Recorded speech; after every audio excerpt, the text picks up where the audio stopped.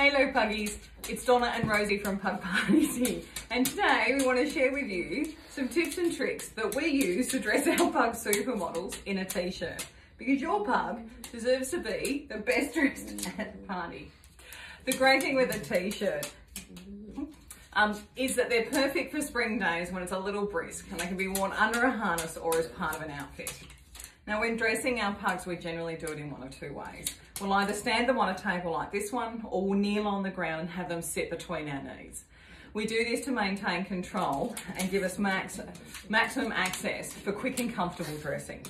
Both of these methods are especially effective if you're dressing alone, like I am, but if there are two of you, we found the best way is on a table with one holding the hind quarters whilst the other dresses.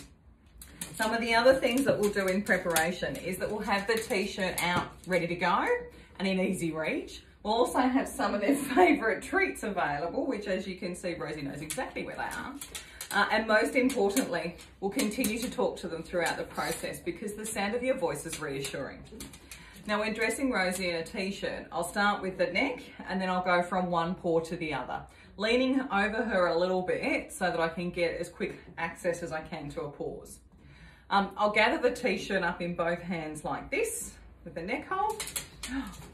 Oh, good girl. Pop it on like that. Make sure I got it on the round the right way.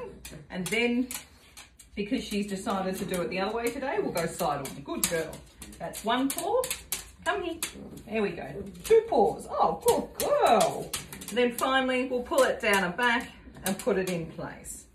Now, if the t-shirt that you're dressing your pug in has sleeves and they're a little long, uh, make sure you roll them up because what you don't want is your pug to be tripped up.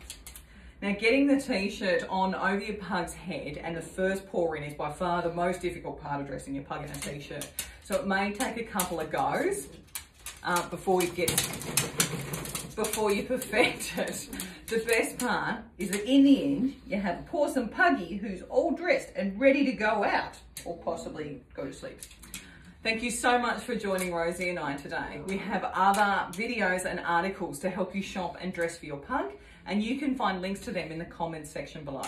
If you or someone you know loves all things pug, then come snuffle with us over at pugparties.com and become a Grumble friend by subscribing to our newsletter. Grumble membership gets you access to one-time offers, advance notice of sales and new collections, as well as shopping and dressing guides to name a few treats we share with our friends every week. So until next time, puggies, have fun and party like only a pug can. There you go.